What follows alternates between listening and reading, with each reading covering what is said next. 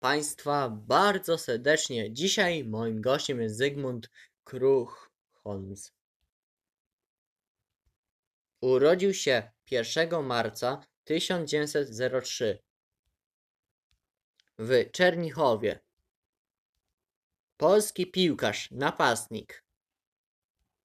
Jego kluby to Jutrzenka Kraków, co zaczynał w 1920, ale też grał w Jutrzence Kraków też w innych latach. Później. Cztery lata później grał w Samson Turnów. Potem, rok później znowu zagościł w Jutrzence Kraków. A w 1928 zagrał w Hamulea Lwów.